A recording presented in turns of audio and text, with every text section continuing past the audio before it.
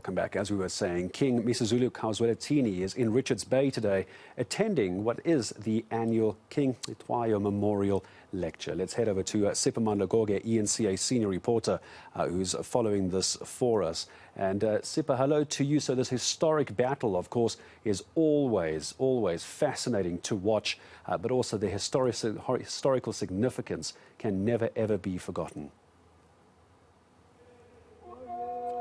Absolutely. In fact, if I were to say, I would say it is one of the most important events in the calendar of Amazulu as a nation. Every year on the 22nd of January, Amazulu commemorates the Battle of Isandlwane. It's the epic historic battle whereby a group of Amabutho under the leadership of the then King Cetshwayo were able to defeat the colonial invaders wanted to grab the land. At the center of the Battle of Isandlwane was mainly one thing and one thing only to defend the land all costs. Amazulu emerged victorious. So every year on the 22nd of January, they commemorate that. They remember the fallen heroes who defended the land. So we are in King Cetshwayo District Municipality in Umhlatuze, Richards Bay today simply because this is part of the activities as a build-up to the 22nd of January, which is next weekend. So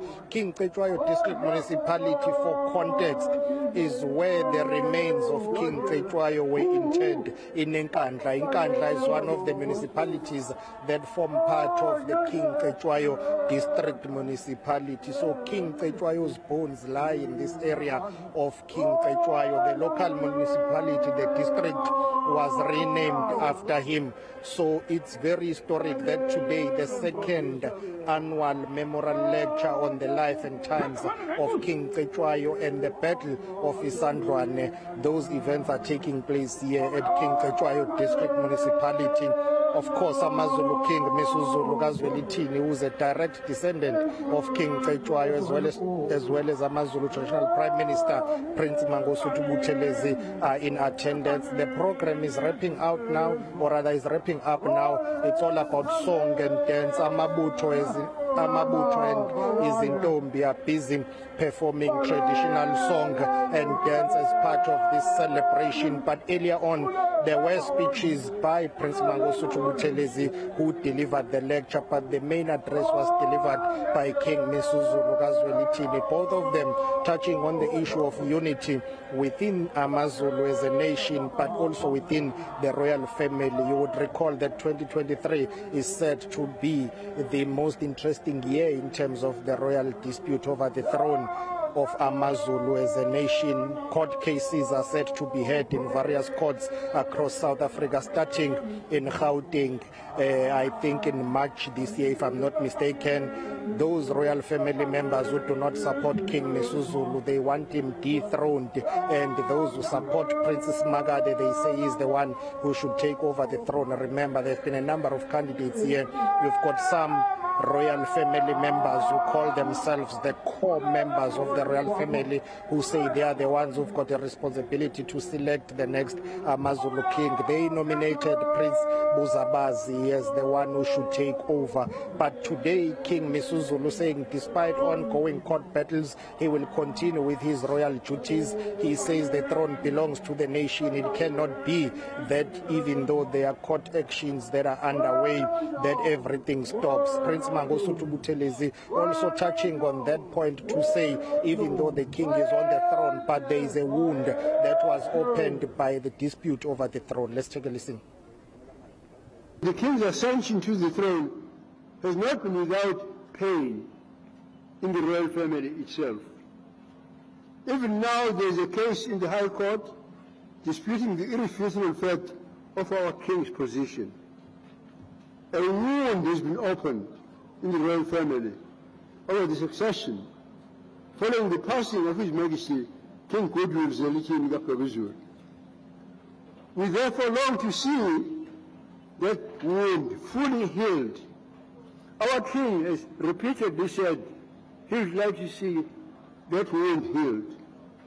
But we must remind ourselves, as Zulu people, that this is not uncommon in the royal family, in the Zulu nation, and in the history of our nation. our very founder, King Shaka Senzangakhona, died in an act of fratricide. Right, Siphamandla, let's also then stay for the moment as I begin to say goodbye to you, the AmaZulu Prime Minister, talking about the challenges in that particular sound. By challenges, yes, but also support is the other side of this coin. What did he have to say? Absolutely. He pledged allegiance and support to King Misuzulu Kazwelithini. And this event today is attended by a number of Amakosi from across King Cetshwayo district and across KwaZulu-Natal. And that support can be interpreted in a form of the KwaZulu-Natal Provincial House of Traditional Leaders Chairperson Inkosi uh, Ushinga also being in attendance here. The former chairperson of the KwaZulu-Natal Traditional House of Leaders, Inkosi Chiliza, is also present here. More Amakosi from across KwaZulu-Natal are attending today's event. Amabutho in their numbers and Izintombi, the maidens in their numbers. So Prince Mangosuthu saying despite the ongoing legal battles and challenges, the king appears to enjoy support from various sectors of AmaZulu as a nation. Let's take a listen. Even this court case hangs over your head like a sword of Damocles, we, your people, loyally support you. Like all our kings who came before and created their legacies, our king will create his own legacy as he is starting today, so that in days to come, he too will be remembered whenever our people gather for his legacy. Since the very founding of the Zulu nation, many efforts have been made to divide the Zulu people. Yet they have never been quite succeeded.